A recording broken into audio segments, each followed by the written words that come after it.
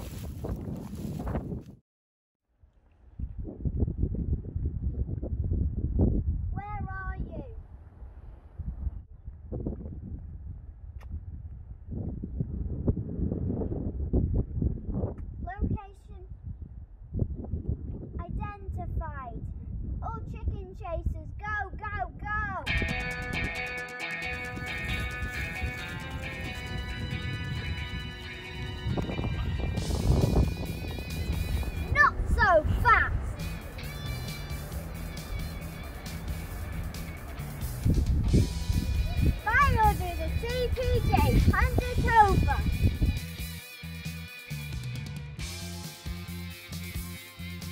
And what if I don't? No, this, no! That's getting ticket extracted for me.